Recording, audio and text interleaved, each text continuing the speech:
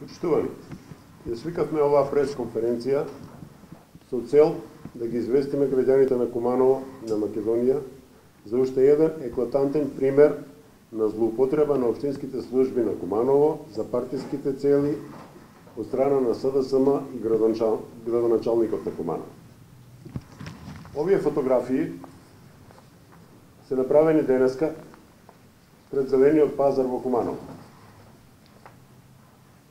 На фотографииве јасно се гледа како лица вработени во јавното предпријатие Чистота и Зеленило, во униформи на оваа предпријатие, во работно време, со службени превозни средства, разнесуваат партиски материјали на СДСМ.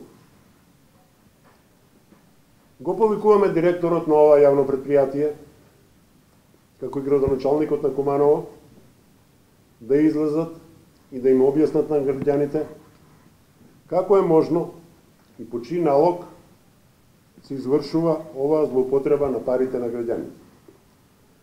Дали ќе се превземат мерки да се санкционира ова? До кога предприятието Чистота и Зелениново ќе работи се, освен она за што е основано и за што прима пари од граѓаните? СДСМ брутално ги злоупотребува институциите на општината и вработените во општината грубо мешање на партијата и општината и злоупотреба на државните, односно општинските ресурси во изборни цели. Ова е казниво со закон. Ова го прават затоа што се уплашени. Куманово победува. СДСМ го уништи Куманово, се обиде тоа да го направи и со целата држава во последниве две години. Народот победува.